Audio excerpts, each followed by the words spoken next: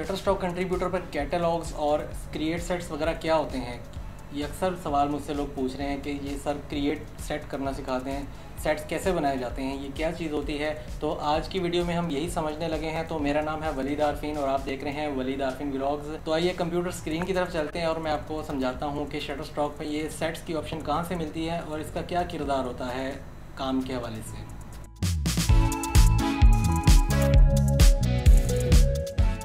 जी, जब आप अपना शटर स्टॉक कंट्रीब्यूटर लॉगिन करते हैं तो आपके सामने ये स्क्रीन आ जाती है इस तरह से, लेकिन ये एड्स गाए बगाए चेंज होते रहते हैं, इसको आपने नहीं अभी कुछ देखना। हमने क्या देखना है, नीचे से जब आप अपने पोर्टफोलियो स्टेटस में किसी भी ऑप्शन पे जाएँगे नॉट सबमिटेड में जाएँ या पेंडिंग में जाएँ या किसी में भी जाएँ, ठीक है? आ, हम नॉट सबमिटेड वाली पे अभी क्लिक करते हैं और हम जाते हैं मेन्यू में। अच्छा अभी हम हैं सबमिट कंटेंट मेन्यू में। अब सबसे ऊपर देखें, लोगों के साथ या आपको सबसे पहले अर्निंग्स दिख रहा है अर्निंग्स के बाद दिख रहा है पोर्टफोलियो पोर्टफोलियो में आपने जाना है और नीचे आपके पास आ रहा है कैटलॉग मैनेजर इसके ऊपर आप जस्ट क्लिक करेंगे तो आप आ जाएँगे कैटलॉग मैनेजर के अंदर। अच्छा इसका नाम से ही ज़ाहिर है कैटलॉग मीन्स आपका जो भी काम है, वो एक किताब की सूरत में जो है, नुमाया होगा, दिखेगा। और मैनेजर मीन्स मैनेज करना है अपने अपने कंटेंट को, जो आप जो भी आपने अपलोड किया होगा, लेकिन ये ऑप्शन तभी अवेलेबल होगी जब आपका कंटेंट अपलोडेड होगा। खाली अकाउंट पे ये वर्क नहीं करेगा, ठीक है? तो जब आपको लगे आपका काम ज़्यादा हो गया है, जिस तरह से मैंने बहुत ज़्यादा अपलोड्स की हैं, मेरे 1800 प्लस इमेजेस पड़े हुए हैं तो अब देखें, मेरा काम ये आप खुद देखें, कितना खिचड़ी वाला लग रहा है। कोई चीज़ समझ में नहीं आ रही, कौन सी कहाँ है। कभी ईद का डिज़ाइन आ जाता है कभी फीफा आ जाता है, कभी बड़ी ईद आ जाती है, कभी इस्लामिक आ जाता है, कभी cyber Monday, twelve twelve, mix पड़ा हुआ है। फ़ोटोग्राफी मिक्स है, फुटबॉल है, क्रिकेट चल रहा है, सब कुछ, पाकिस्तानी डिज़ाइन, फ्लैश डिज़ाइन, एक खिचड़ी पकी हुई ना तो क्लाइंट को भी ऐसे ही दिखती है, जब आप सेट नहीं बनाते। तो सेट बनाने का जो तरीका मैं आपको समझा देता हूँ, यहीं पर ही ऑप्शन है, सबसे ऊपर टॉप पे आपको ये राइट साइड पे दिख रहा होगा क्रिएट सेट सेट से मुराद है फोल्डर बनाना है। पहले तो मैं आपको एक रिव्यू दिखा देता हूँ, ये बनने के बाद दिखता कैसा है, ठीक है? लाइक अभी मैं आपको एक अकाउंट दिखा रहा हूँ अफ्रीका स्टूडियो का, ये इस वक्त शटर स्टॉक पर टॉप क्रिएटर है टॉप कंट्रीब्यूटर है और इसके तेरह लाख से जायद इमेजेस हैं। ये स्टूडियो है एक अफ्रीका के नाम से और आप इनका काम देखें। अच्छा अब ये मैं इसकी पब्लिक प्रोफ़ाइल पे हूँ। आपका भी पब्लिक प्रोफ़ाइल इसी तरह ही दिखता है लेकिन वो थोड़ा चेंज होगा आपके डाटा के हिसाब से।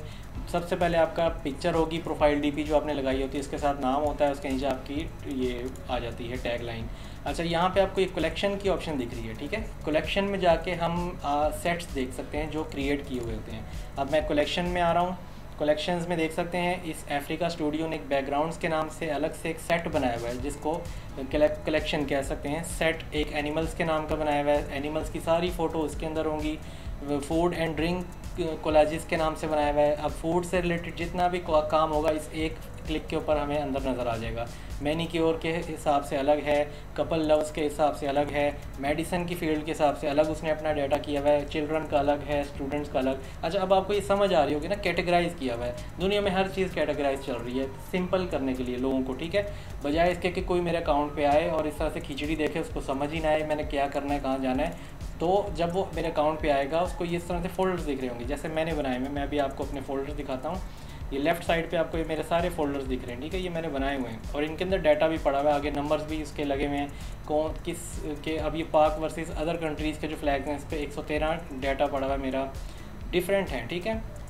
तो जिस सेट पर मैं क्लिक करूँगा, उसका डाटा सामने आ जाता है, ठीक है? इस तरह से। मैं वेक्टर मैप्स पे क्लिक करता हूँ वेक्टर मैप्स सारे आ जाते हैं। मैं वर्ल्ड मेंटल हेल्थ डे पे क्लिक करता हूँ तो मेरे पास अभी इस पर कोई नहीं है। वर्ल्ड टीचर्स डे पे क्लिक करता हूँ तो मेरे पास वर्ल्ड टीचर्स डे का डाटा आ जाता है, ठीक है? और इस्लामिक आर्ट पे क्लिक करता हूँ तो मेरे सामने सारा इस्लामिक आर्ट आ जाता है।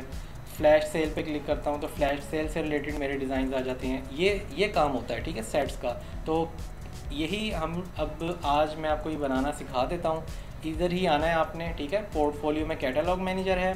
कैटलॉग मैनेजर में सबसे ऊपर राइट पे आपको ये रेड बटन दिख रहा है क्रिएट सेट आपने जस्ट इस पर एक बार क्लिक करना है। क्लिक करने के बाद आपने अब इमेज सेट बनाना है या वीडियो सेट यहाँ से आपने सिलेक्शन ले लेनी है तो मैंने इमेज सेट बनाना है।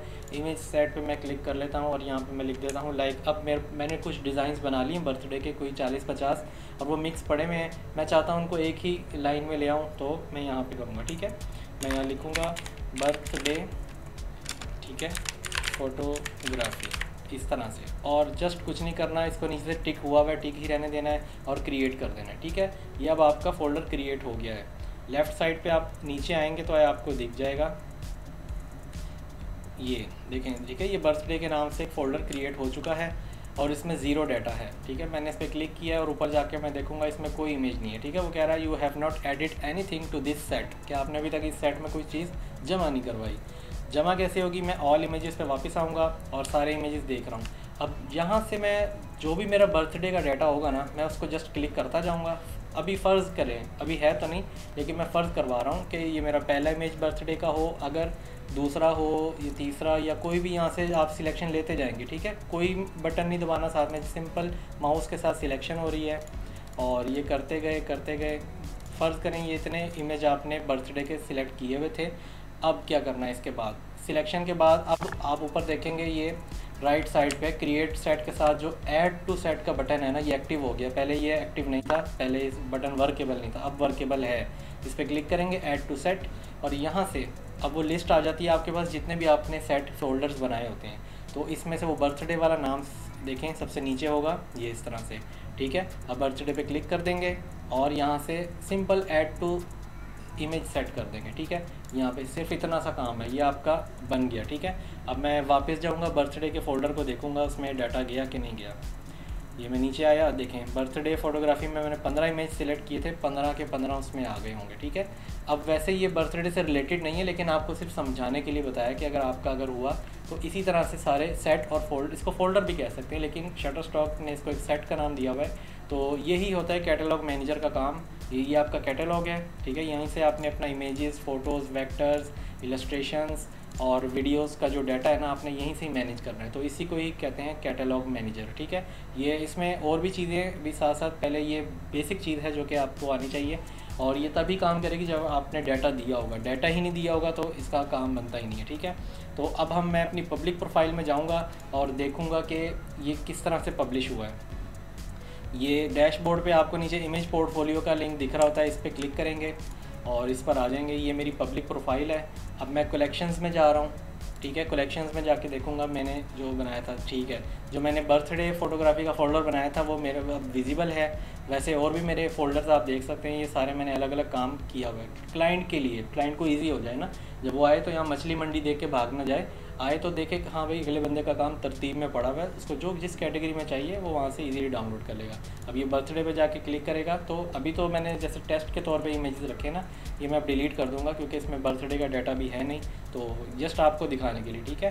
तो ये चीज़ है सेट्स का काम ये होता है कि जब आप भी कोई काम बना, करते हैं ना तो वो इस तरह से तरतीब में आ जाता है। ठीक है? तो ये जस्ट आज की वीडियो का बनाने का मकसद था कि काफ़ी लोगों के ये सवाल आ रहे थे जी सेट्स का भी बता दें। तो सेट्स बेसिक जब अकाउंट नया नया बना होता है, तब तो ज़रूरत नहीं पड़ती, इसकी तभी ज़रूरत पड़ेगी। जैसे जैसे आपका डाटा अपलोडेड होगा ज़्यादा काम करेंगे मिक्स होगा तो फिर आप उसको कैटेगराइज करेंगे।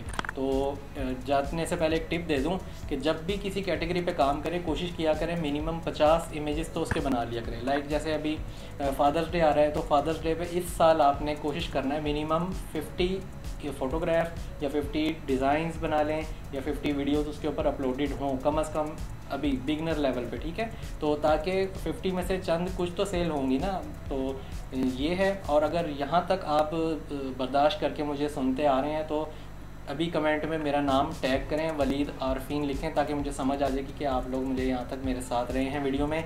और अगली वीडियो तक के लिए इजाज़त दीजिए। अल्लाह हाफिज़।